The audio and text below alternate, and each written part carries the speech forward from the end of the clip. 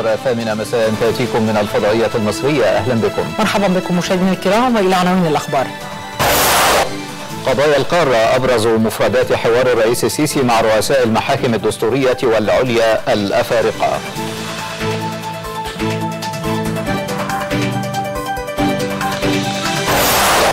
رئيس مجلس الوزراء يتابع استعدادات شرم الشيخ لاستضافة كوب 27 ويعلن تحول مدينة السلام لمدينة خضراء مع انطلاق الفعاليات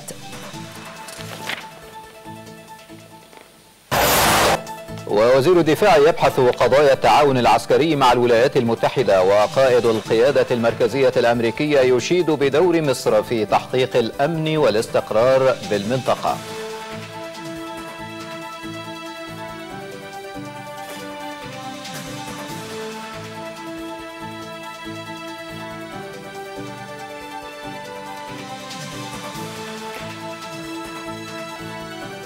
ونتابع في نشرتنا الاقتصادية.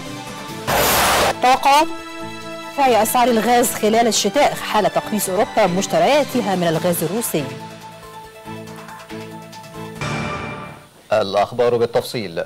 شدد الرئيس عبد الفتاح السيسي على أهمية الوعي الشعبي لتعزيز دور القانون والمؤسسات القضائية. جاء ذلك خلال استقبال سيادته رؤساء المحاكم الدستورية والعليا الأفارقة المشاركين في المؤتمر السادس الذي تنظمه المحكمة الدستورية المصرية للمحاكم الدستورية والعليا الإفريقية. وقد شهد اللقاء حوارا مع سيادة الرئيس بشأن قضايا القارة الإفريقية خاصة دور المحاكم الدستورية والعليا في الحفاظ على سيادة الدول.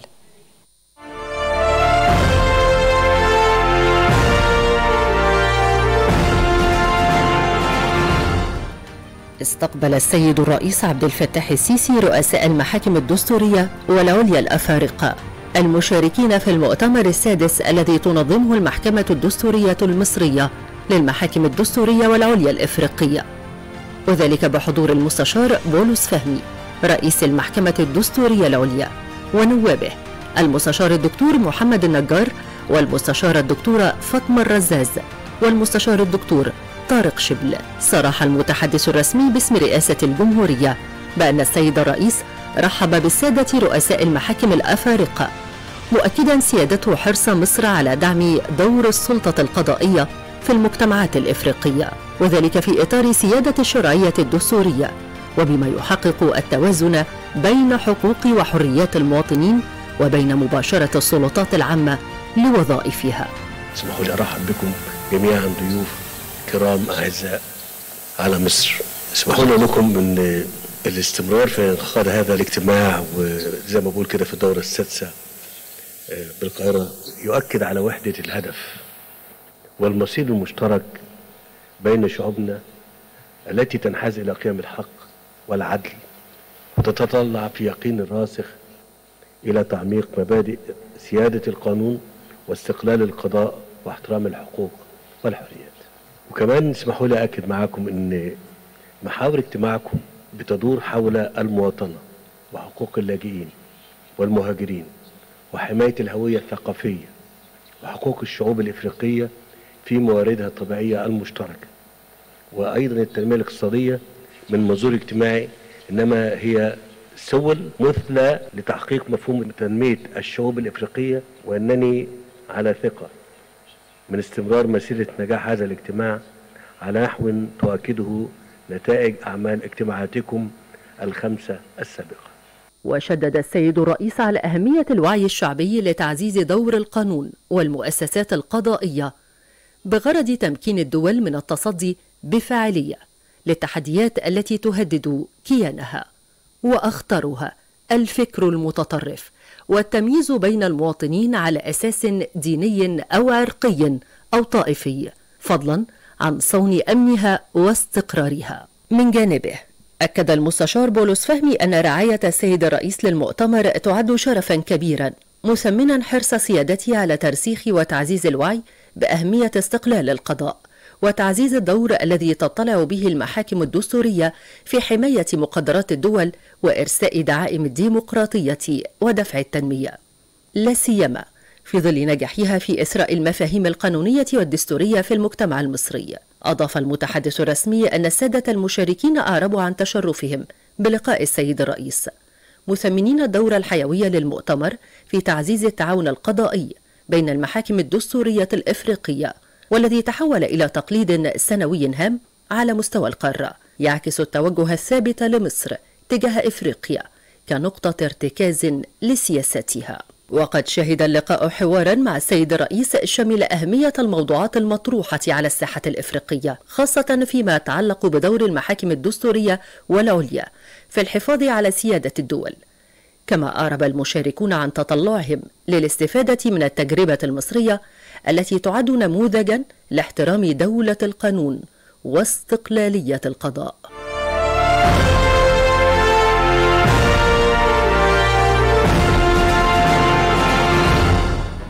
هذا واختتمت فعاليات اليوم الثاني لأعمال الاجتماع السادس لرؤساء المحاكم والمجالس الدستورية والعليا الإفريقية بالقاهرة بمشاركة أربعين دولة. ناقشت الجلسات قضايا عدة منها اللاجئين والمهاجرين والتعامل مع تحديات دول وشعوب القارة.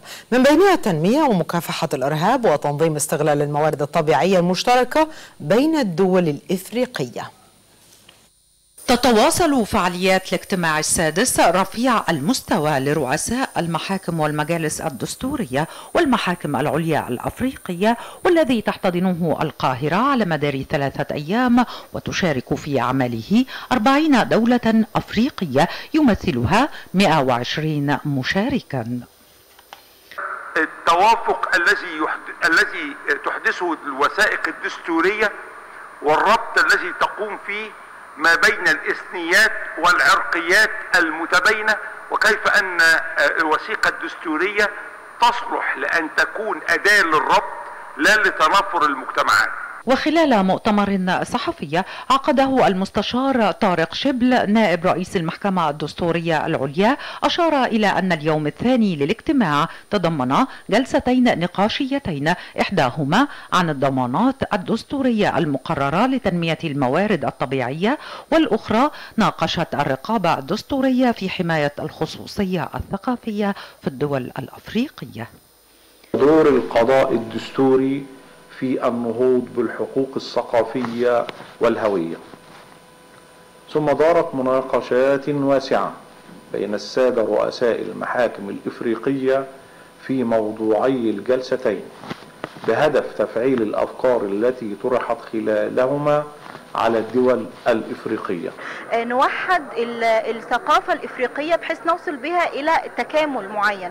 إحنا كلنا شعوب إفريقية وفي أكيد ما بيننا حاجات كتير مشتركة فلو وحدناها هتبقى قيمة مضافة للإنسانية كلها. هذا وتسعى المحكمة الدستورية العليا إلى التوصل إلى آلية مؤسسية متواصلة بين الدول الأفريقية في شأن القضايا الدستورية من خلال زيادة الاهتمام بالبحوث والدراسات المعنية مع الأخذ في الاعتبار أن مصر رائدة في مجال القضاء الدستوري برعاية كريمة من الرئيس عبد الفتاح السيسي تستمر فعاليات جلسات اجتماع القاهرة السادس رفيع المستوى لرؤساء المحاكم والمجالس الدستورية الأفريقية والذي نجح خلال السنوات الماضية في تحقيق التوافق بين دول القارة في العديد من الموضوعات الدستورية والقانونية المهمة بما يتوافق مع تحقيق مصالح الشعوب الأفريقية. أمل صبري التلفزيون المصري. أكد رئيس الوزراء دكتور مصطفى مدبولي أن عدد الراغبين بالمشاركة في مؤتمر المناخ هذا العام يساوي تقريبا ضعف أعداد المشاركين في قمة المناخ خلال العامين السابقين ما يعكس سمعة مصر الطيبة وقدرتها على استضافة وتنظيم مثل هذه الفعاليات المهمة. جاء ذلك خلال ختام زيارته لمدينة شرم الشيخ لمتابعة آخر الاستعدادات لاستضافة مؤتمر المناخ والمقرر الانتهاء منها بالكامل خلال شهر لتتحول مدينة شرم الشيخ إلى أول مدينة خضراء مستدامة تعبر عن أهداف هذا المؤتمر العالمي. بهدف تفقد مشروعات التطوير الجاري تنفيذها على قدم وساق. تنفيذا لتكليفات السيد الرئيس عبد الفتاح السيسي في مدينة شرم الشيخ.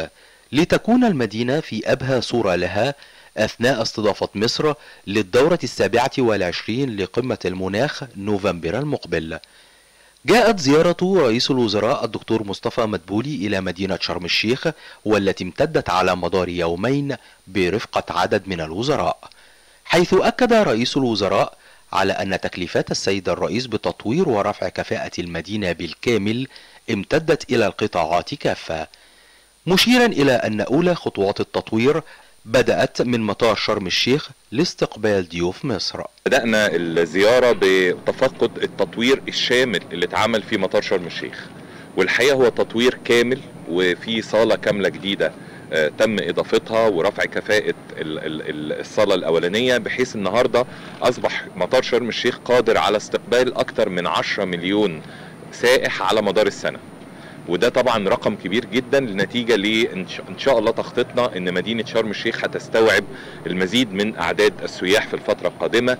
الحقيقة يمكن اتمنيت على توافر كل الخدمات اللي هتبقى موجودة في المطار منذ لحظة آه، نزول الطائرة حتى آه، خروج السائح من المطار بكل الخدمات اللي موجودة. بدءا يمكن أنا عايز أقول ويمكن دي كان برضو يعني توجيه من فخامة الرئيس لوزارة النقل برفع كفاءة الممرات أو الران واي بتاع ال- المطار بحيث بقى يبقى هيبقى عندنا ممرين يعني يقدروا يشتغلوا في وقت واحد الاتنين مع بعض وده يبقى زيه زي أي مطار عالمي. كما تفقد رئيس الوزراء المنطقة الزرقاء المقامة على هامش قمة المناخ والتي تتولى إدارتها سكرتارية الأمم المتحدة خلال فعاليات القمة. وهي مخصصة للمعارض والأحداث الجانبية التي يعقدها القطاع الخاص والمجتمع المدني والشباب والوزارات المختلفة لعرض قصص النجاح والمشروعات والابتكارات والمنتجات ذات الصلة في مجال التصدي لآثار تغير المناخ. كان تركيزنا طبعا على منطقة آه، مركز المؤتمرات الرئيسي اللي هيتعمل فيه المؤتمر نفسه وتفقدنا مع كل السادة الوزراء كل الأعمال اللي بتتم على أرض آه، على الأرض هناك من رفع كفاءة المركز الحالي وإضافة ما تطلق عليها المنطقة الزرقاء اللي هي خاصة بسكرتارية الأمم المتحدة واللي هتبقى فيها تمثيل كل الدول آه، والم- والمؤسسات الرسمية ودي يمكن شفنا حجم العمل اللي بيتم على الأرض هناك. وعايز أقول إن يعني الحمد لله ودي نقطة مهمة جدا. يعني نتيجة طبعا لسمعة مصر وقدراتها ونجاحها دايما في استضافة الفعاليات الهامة عدد الراغبين هذا العام في الاشتراك في المؤتمر قمة المناخ في مصر تقريبا ضعف الأعداد اللي كانت في المؤتمرات السابقة في العامين السابقين. بعد ذلك تفقد دكتور مصطفى مدبولي محطتي شحن سيارات وأتوبيسات كهربائية. مستقلا إحدى السيارات الكهربائية الملاكي مشيدا بإحدى ماركات السيارات التي يتم تجميعها داخل مصر وموضحا أهمية المشروعات الداعمة للتحول الأخضر. تفقدنا منظومة الحقيقة محطات شحن السيارات الكهرباء. اللي هتبقى موجودة 18 آه، محطة شحن ب 36 آه، نقطة شاحن دي للسيارات اللي هي الملاكي.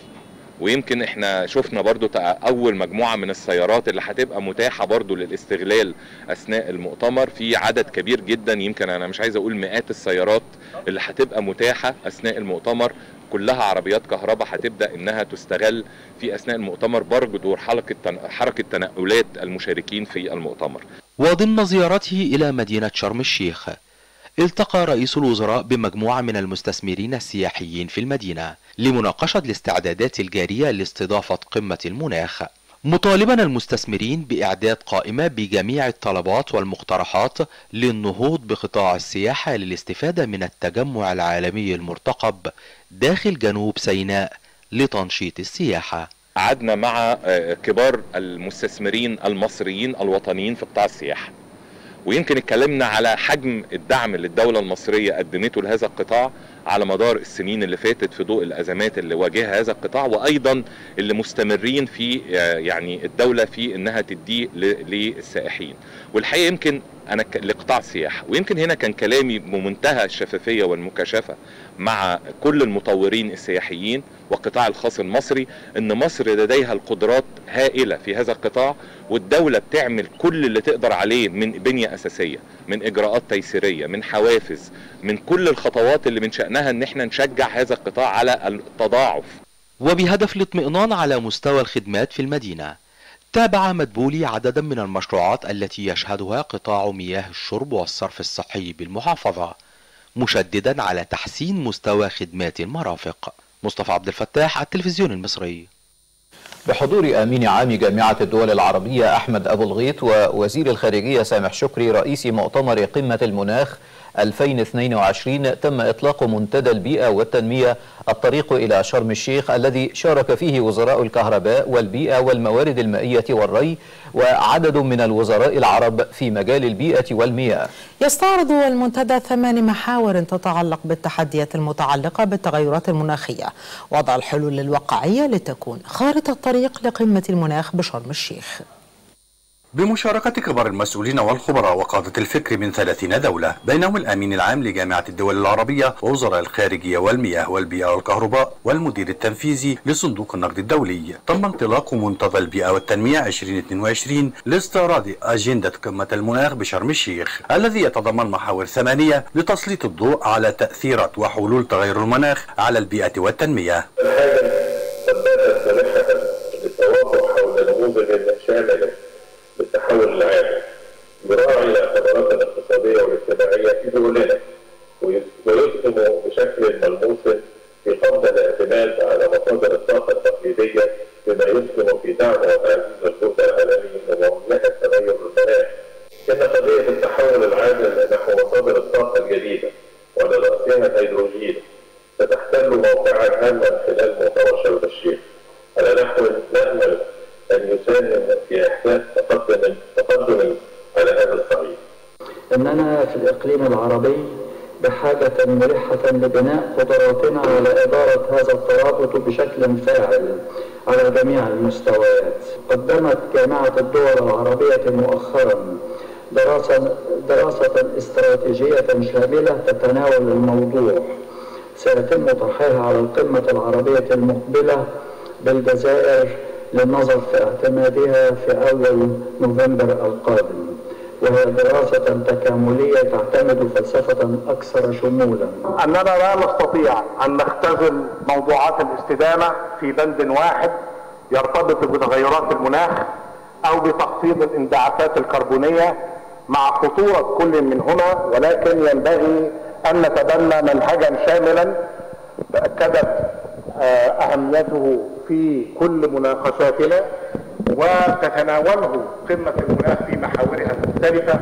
ولا خير في استثمارات تخفض من الأضرار المرتبطة بتغيرات المناخ ويترتب عليها في ذات الوقت زيادة في الفقر أو زيادة في البطالة أو مشكلات في العدم العدم. كما تم خلال المنتدى العمل على اقتراح توصيات لمؤتمر قمة المناخ بشرم الشيخ وتحديد التحديات الرئيسة التي تواجه تلك التغيرات مع وضع أفضل الاستراتيجيات للتنمية المستدامة اللازمة للتغلب على تلك التحديات. عمل صندوق لتمويل مشروعات البيئة والمشروعات الخضراء النوع الأمر الثاني هو إنشاء فند أو صندوق برضه علشان مواجهة التغيرات السلبية. هي التغيرات السلبية؟ فدول لو وافقوا عليهم وخصوصا الدول المتقدمة هيبقى موضوع مهم بالنسبة للتوصيات يعني. نأمل إنه إنه من خلال خلال المرحلة اللي جاية إنه يتم بلورة هذه المبادرات في اكشن أو في إجراءات وتدابير على أرض الواقع تسرع من وتيرة المشروعات لمواجهة تغيرات المناخ وإيجاد التمويل اللازم لها.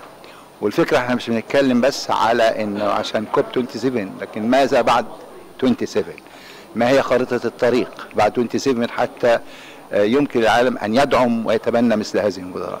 فهذا هو المنتدى محفل ومنصة لتبادل الرؤى حول هذه النقاط.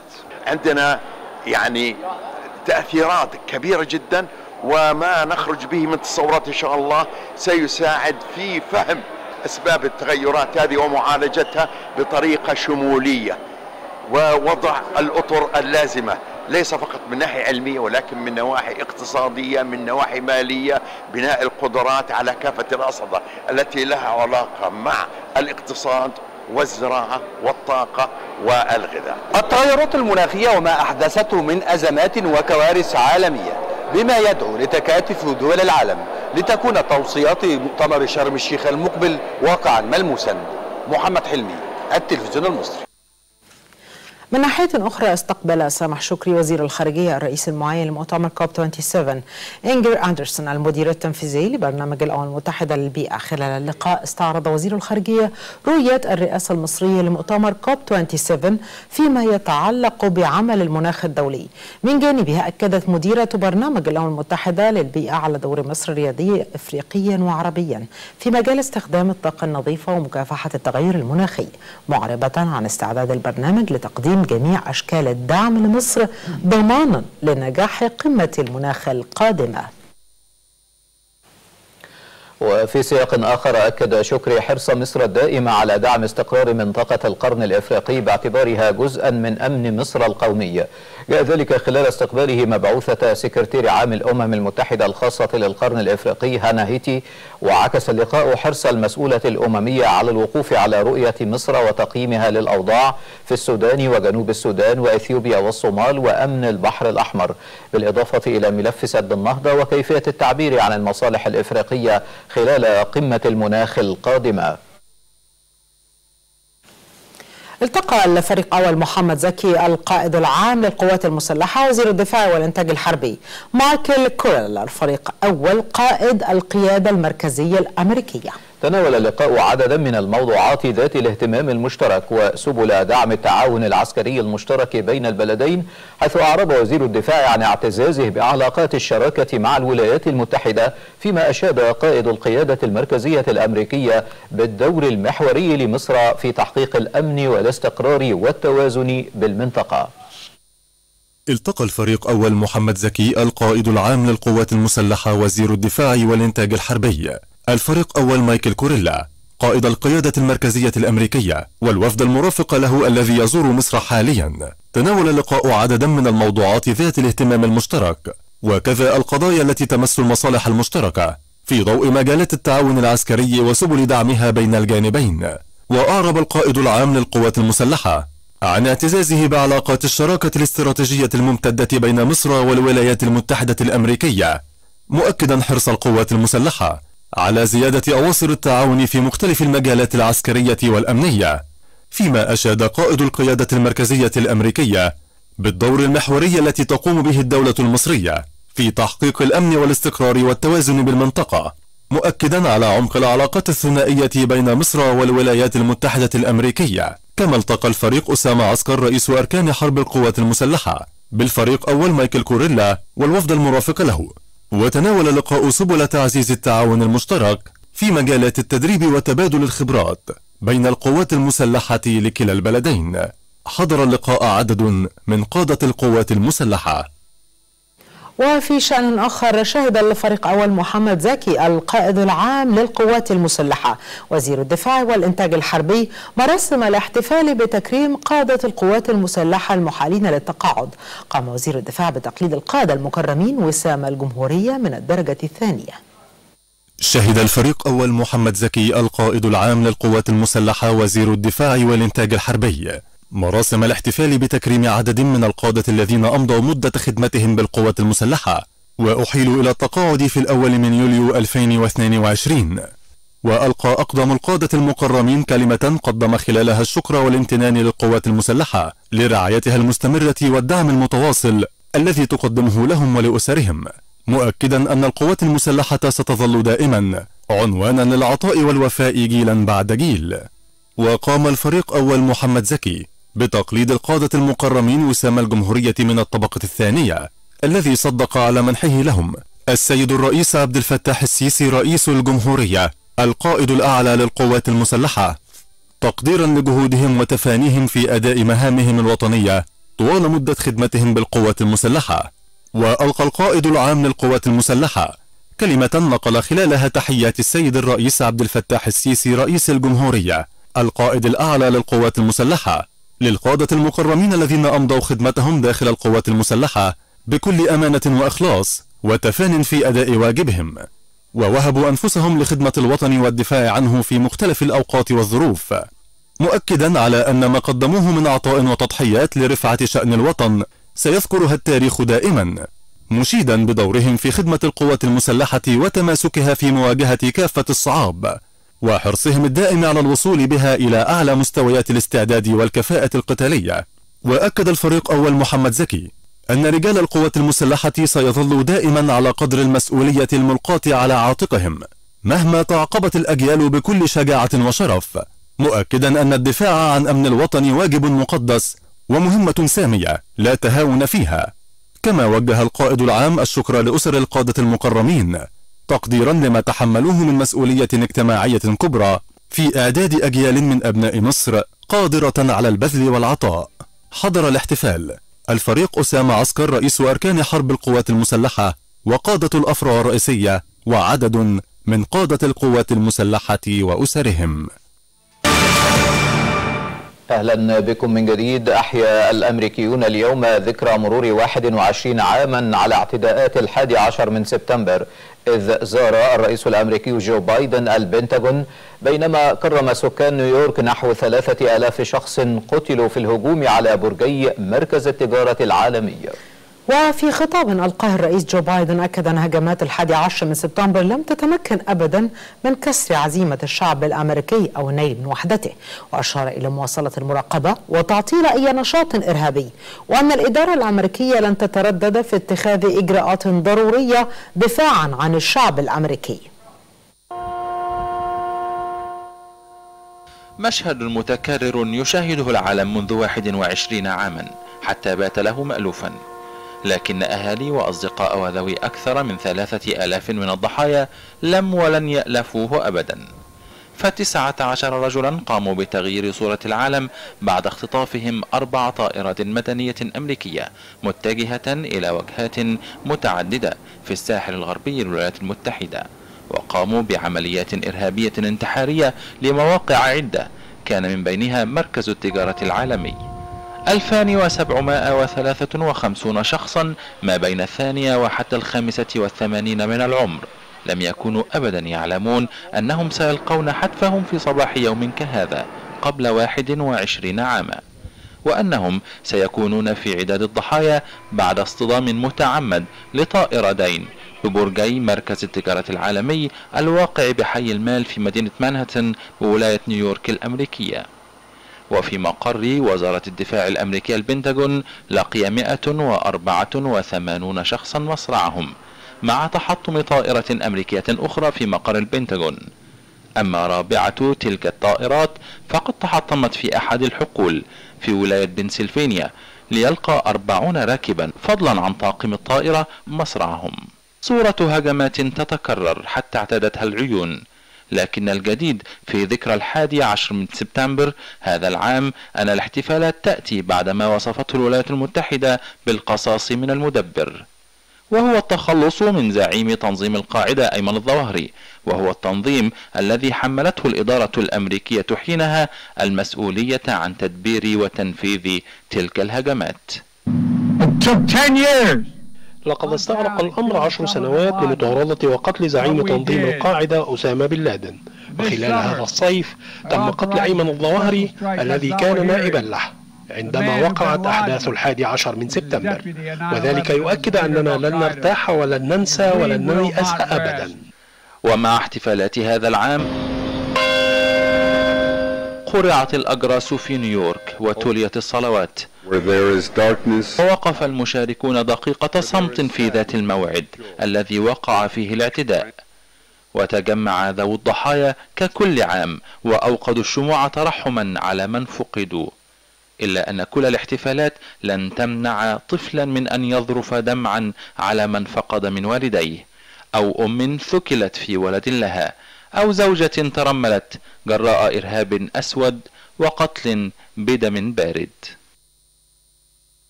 يا سادة ولمزيد من المتابعة ينضم إلينا هاتفيا دكتور أحمد سيد أحمد أستاذ العلاقات الدولية بمركز الأهرام للدراسات السياسية والاستراتيجية. دكتور أحمد بعد التحية في ذكرى أحداث الحادي عشر من سبتمبر كيف تقرأ المشهد الدولي بعد مرور أكثر من عقدين على هجمات سبتمبر؟ تحياتي لك أستاذ اشرف ولكل مشاهدينا الكرام في الواقع أن أحداث 11 سبتمبر عام 2001 ورغم مرور 21 عاما إلا أنها تظل علامه فارقه في في تاريخ النظام الدولي في تاريخ أمريكا لأن العالم ما ما بعدها لم يكن مثل ما كان قبلها. بعدها شهدنا تفاعلات جديدة في النظام الدولي انطلاق الحرب على الإرهاب تغير حتى قواعد النظام الدولي وما رأيناه من وصول محافظين الجدد وما يسمى الحروب الاستباقيه وحاله من الاضطراب في العلاقات الدولية ولذلك ستظل هذه الأحداث الدموية التي قتل الإرهابية التي قتل في خلال يعني دقائق معدودات أكثر من 3000 شخص ستظل علامة بارزه في تاريخ الإنسانية وفي تاريخ العلاقات الدولية والنظام الدولي. دعنا نقول أنه بعد أكثر من عقدين يكون السؤال هو هل نجحت أمريكا بعد انطلاق الحرب على الإرهاب في عام 2001 وإسقاط نظام طالبان وغزو أفغانستان ثم إسقاط نظام صدام حسين وغزو العراق هل نجحت أمريكا ورغم ما تم بتوجيه من ضربات ضد التنظيمات الإرهابية هل نجحت في قضاء الإرهاب؟ أعتقد أن الإجابة ستكون لا لأن رغم أن أمريكا صحيح أنها كانت بمنأى واستطاعت أن تحصن نفسها ولم تحدث أي عمليات إرهابية تأخذ الأراضي الأمريكية منذ ذلك الحين إلا أن السياسة الأمريكية وتعاملها وتعاملها مع الإرهاب أدت إلى تزايد الظاهره الإرهابية من الناحية الجغرافية من الناحية التكنولوجية من ناحية الاتساع رأينا الجماعات الإرهابية تتكاثر من أفغانستان في آسيا في إفريقيا. رأينا عشرات التنظيمات الإرهابية من داعش لبوكو حرام لتنظيم القاعدة في أكثر من مكان في جزيرة العرب في شمال المغرب العربي. رأينا تنظيمات إرهابية وكل هذا بيعكس أن المعالجة والمقاربة الأمريكية ضد الإرهاب كانت مقاربة خاطئة لم تنجح في استئصال شافه شافه الارهاب رغم قتل الظواهر رغم قتل بن لادن رغم قتل الزرقاوي في العراق رغم قتل القرشي.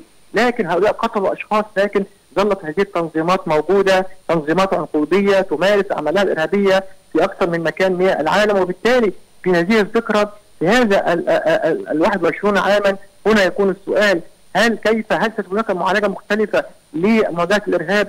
أنا في اعتقادي أن هذا النمط أدى لتزايد الظاهره الإرهابية، لأن هناك ازدواجيه حتى في التعامل مع الإرهاب، ما يسمى التفرقة ما بين التنظيمات المعتدلة والتنظيمات المتشددة لكل في في معين واحد الكل من رحم واحد، رأينا الدول الغربية والمتقدمة وتستخدم التنظيمات الإرهابية كأداة من أدوات تنفيذ سياستها الخارجية الخارجية وأدوات الصراع فيما بينها وتغذي وتستقطب هذه التنظيمات الإرهابية. وعندما ينقلب السحر على الساحر وعندما تكون في مرمى نيران هذه وتستوي نارا هذه التنظيمات الارهابيه هنا تتحرك. رأينا الإرهاب يضرب أوروبا. رأينا الإرهاب يضرب أماكن كثيرة. وكل هذا كان نتاج لسياسات التراخي عن التنظيمات الإرهابية عن توظيف التنظيمات الإرهابية عن التغاضي عن الدول التي ترعى وتمول الإرهاب. وكان هذا إنذار مصر. مصر دائما منذ البداية كانت تقول المواجهة الشاملة للإرهاب المواجهة العسكرية والأمنية والمواجهة التنموية والمواجهة الفكرية.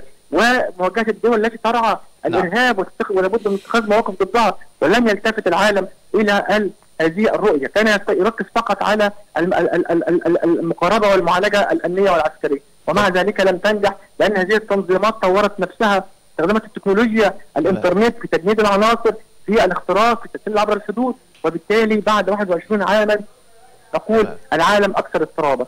لم تنجح أمريكا ولا الدول الغربية في ما ما, ما عرف بقضاء الإرهاب والحرب العالمية على الإرهاب. وبالتالي سيظل الإرهاب موجودا ما لم تغير هذه الدول الكبرى الدول الغربية من من منهجها وان تتوائم مع والتماهى مع الرؤية المصرية الشاملة التي تعالج شجره الإرهاب من جذورها. هذه الدول كانت ترعى الإرهاب وتتغاضى عن الإرهاب لأنه كان يخدم مصالحها واجنداتها وضح هنا لابد من وقفة حقيقية للتعامل مع الظاهره شكرا جزيلا شكرا جزيلا دكتور أحمد السيد أحمد أستاذ العلاقات الدولية بمركز الأهرام للدراسات السياسية.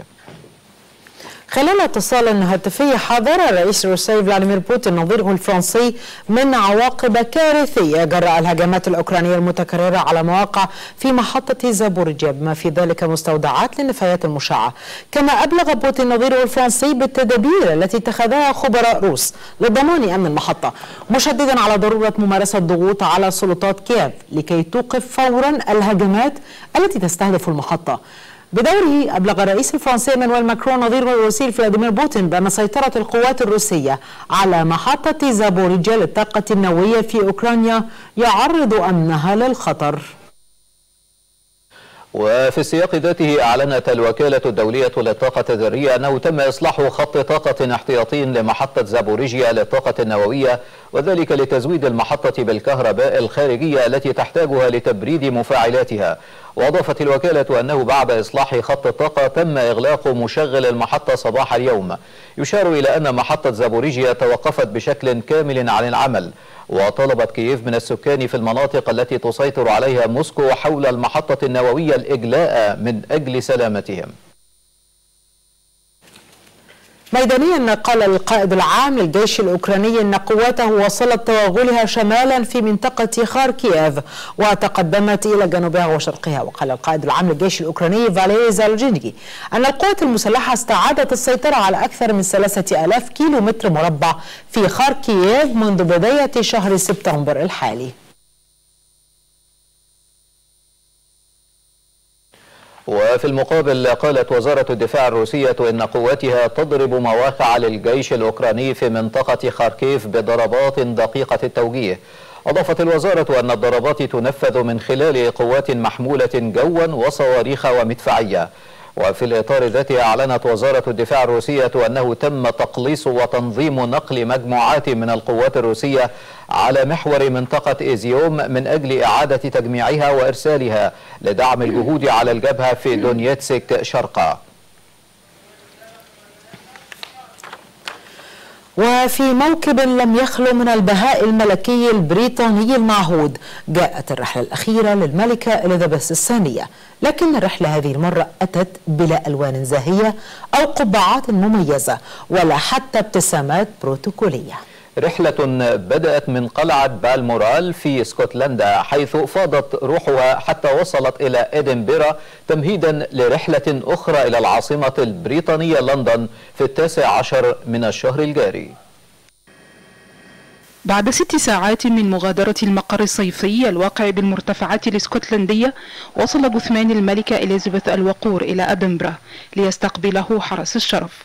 وليقوم على الفور فوج عسكري اسكتلندي بنقل الجثمان إلى غرفة العرش بالقصر حيث سيزجى هذه الليلة وسط مراسم ملكية متحفظة لكنها لم تخلو من العراقة.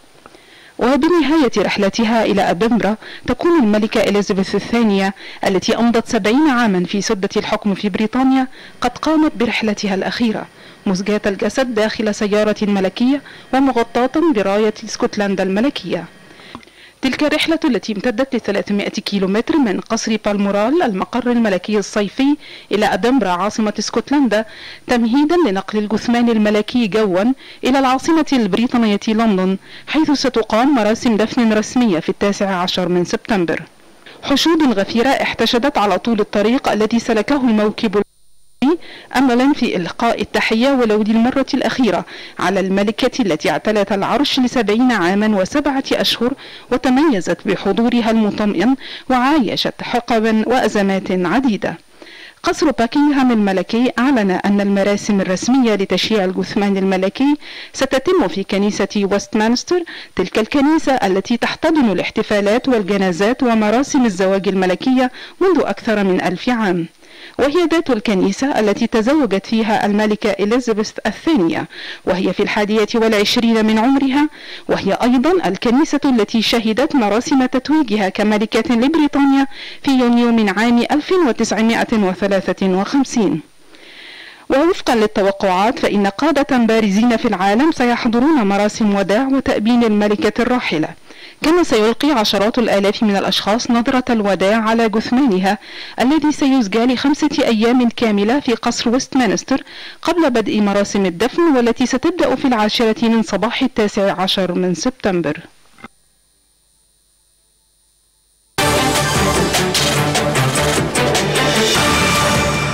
أعرب فضيلة الإمام الأكبر دكتور أحمد الطيب عن اعتزاز الأزهر الشريف بعلاقته الوطيدة بسنغافورة وسعادته باستضافة طلاب السنغافوريين في جامعة الأزهر ومراحل التعليم قبل الجامعي جاء ذلك خلال استقباله تيو تشي هين كبير وزراء سنغافورة لتنسيق السياسات الأمنية رئيس اللجنة الوطنية الوزارية لتغير المناخ ووفد رفيع المستوى من البرلمان السنغافوري وسفارة سنغافورة لدى القاهرة. خلال اللقاء تطرق فضيلة الإمام لدور الأكاديمية الأزهر العالمية لتدريب الأئمة والوعظ في مكافحة التطرف والإرهاب وكيفية مواجهتهما فكريا. إلى جانب أزمة تغير المناخ وما تمثله من خطر على مستقبل الأجيال القادمة. تمكنت وزارة الداخلية خلال 24 ساعة من ضبط 441 قضية تموينية بمضبوطات بلغت قرابة 120 طنا للمواد الغذائية وغير الغذائية. يأتي هذا بالتزامن مع استمرار جهود الداخلية لمواجهة كافة أشكال الخروج على القانون حيث أسفرت الجهود على مستوى الجمهورية خلال أسبوع من العديد من النتائج الإيجابية نتابعها بالتقرير التالي.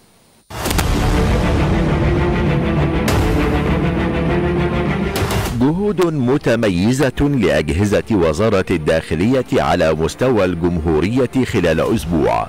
حققت خلالها الأجهزة الأمنية نجاحات كبيرة في مكافحة شتى صور الجريمة. فمن خلال استهداف وضبط العناصر الإجرامية شديدة الخطورة أسفرت جهود الأجهزة الأمنية عن ضبط عدد 488 عنصرا إجراميا. ومصرع خمسة عناصر إجرامية شديدة الخطورة بنطاق 24 مديرية أمن.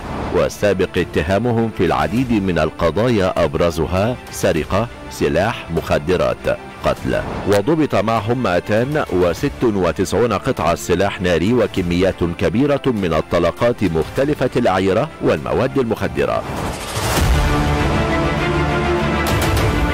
وفي مجال استهداف البؤر الإجرامية شديدة الخطورة بمنطقة بحيرة منزلة بنطاق محافظات دمياط وبورسعيد والدقهلية. ومنطقة السحر والجمال بنطاق محافظتي الشرقية والإسماعيلية. تم ضبط 92 متهما وضبط معهم أسلحة نارية ومواد مخدرة. وفي مجال ضبط الأسلحة النارية والبيضاء غير المرخصة ضبطت أجهزة وزارة الداخلية خلال أسبوع 973 قطعة سلاح ناري أبرزها 131 بندقية و85 بندقية آلية و50 مسدسا و707 فرد محل الصنع وكمية من الطلقات مختلفة الأعيرة و120 خزينة إضافة ل 1532 قطعة سلاح أبيض. كما تم ضبط ورشة لتصنيع الأسلحة النارية وبداخلها أسلحة نارية وأدوات وأجزاء التصنيع. وترسيخا لمبدأ سيادة القانون. نجحت أجهزة وزارة الداخلية في مجال تنفيذ الأحكام في تنفيذ 487 ألفا و558 حكما قضائيا من بينهم 1847 حكم جناية و175 ألفا و555 حكم حبس و241 ألفا و825 حكم غرامة. وثمانية وستون ألفا وثلاثمائة وواحد وثلاثون حكم مخالفة.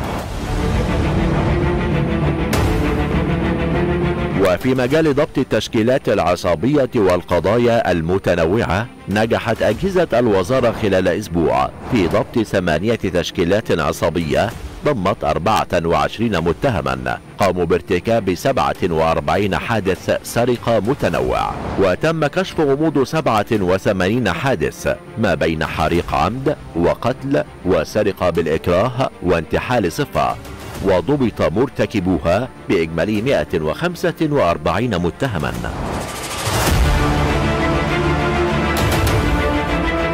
وفي مجال مكافحة المخدرات وضبط المتاجرين فيها تمكنت أجهزة وزارة الداخلية خلال أسبوع من ضبط 1490 قضية إتجار في المواد المخدرة من بينها قرابة 208.5 كيلوغرام من مخدر الحشيش وأكثر من 442.5 كيلوغرام من نبات البنجو المخدر وكمية من مخدر الهيروين وزنت قرابة 37.5 كيلوغرام وضبط ما يقرب من 6.5 كيلوغرام من مخدر الآيس الشابو إضافة إلى حوالي 11 كيلوغرام من مخدر الاستروكس وعدد 17716 قرص مؤثر و9304 قرص ترامادول مخدر. و1100 قرص كيبتاجون هذا وتقدر القيمة المالية للمواد المخدرة بحوالي 26 مليون جنيه. كما تم اتخاذ الإجراءات القانونية تجاه 11 مركزا غير مرخص لعلاج الإدمان. أخبار المال والأعمال محليا وعالميا بعد الفاصل مع هبة فهمي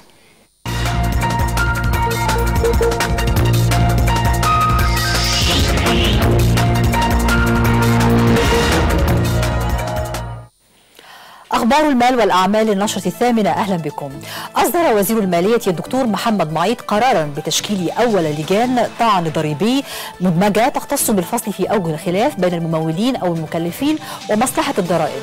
وتختص هذه اللجان بالطعون المحالة من الإدارات المركزية لمركز كبار الممولين ومتوسطي الممولين ومركز كبار المهن الحرة. ومنطقة ضرائب القاهرة رابع على نحو يساعد في سرعة الانتهاء من المنازعات المتراكمة. واستيفاء مستحقات الخزانة العامة والتيسير على الممولين.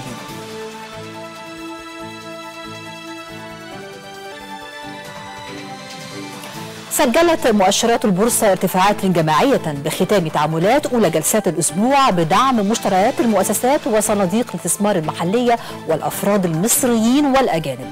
وصعد المؤشر الرئيسي للبورصة إي جي إك 30 بنحو 9 من 10% مغلقا قرب مستوى 10360 نقطة. وارتفع المؤشران إي جي إكس 70 إي دبليو آي وإي جي إكس 100 إي دبليو آي بنسب تراوحت حول 7 من 10% وربح رأس المال السوقي لأسهم الشركات المقيدة بالبورصة نحو 8.5 مليار جنيه. ارتفعت صادرات مصر من الصناعات الغذائية إلى روسيا خلال النصف الأول من العام الحالي إلى نحو 46 مليون دولار بزيادة قاربت نسبتها 27% على أساس سنوي. وظهرت النشرة الشهرية الصادرة عن المجلس التصديري للصناعات الغذائية ارتفاع الكميات المصدرة إلى السوق الروسية خلال الفترة المذكورة لتسجل 50 و145 ألف طن. وبلغ عدد الشركات الغذائية المصرية المصدرة إلى روسيا في 2021 حوالي 151 شركة.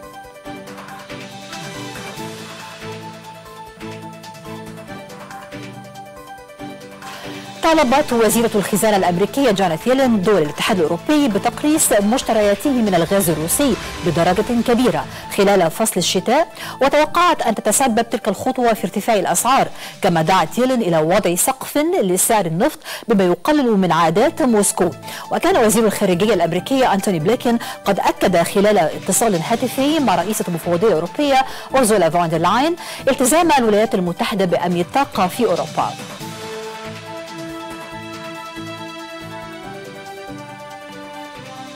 بعد الفاصل نستعرض الأحوال الجوية والطقس وبيان درجات الحرارة مجددا مع رانيا محمود.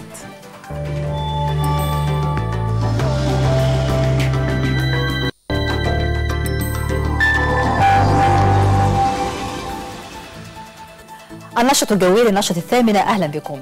يسود طقس حار رطب نهارا على القاهرة الكبرى والوجه البحري والسواحل الشمالية شديد الحرارة جنوبا وجنوب سيناء. معتدل الحرارة رطب ليلا على السواحل الشمالية والقاهرة حتى شمال الصعيد.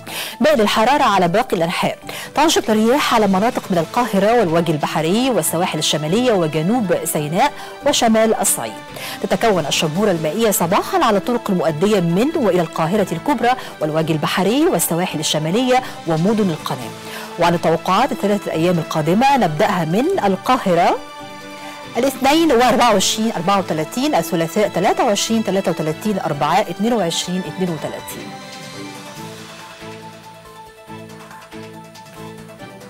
أما شرم الشيخ الاثنين 28 37 الثلاثاء 27 37 الأربعاء 28 36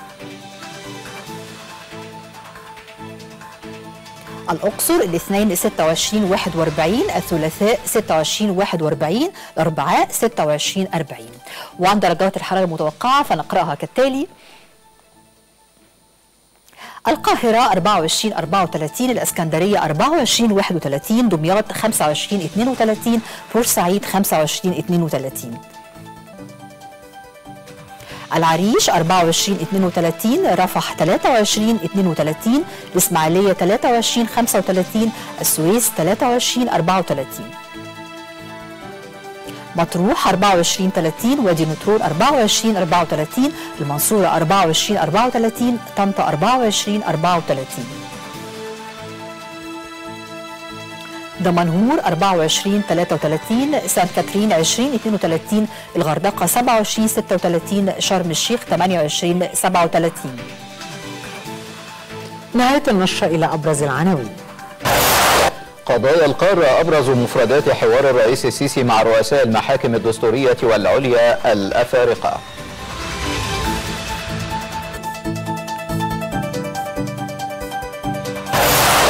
رئيس الوزراء يتابع استعدادات شرم الشيخ لاستضافة كوب 27 ويعلن تحويل مدينة السلام لمدينة خضراء مع انطلاق الفعاليات.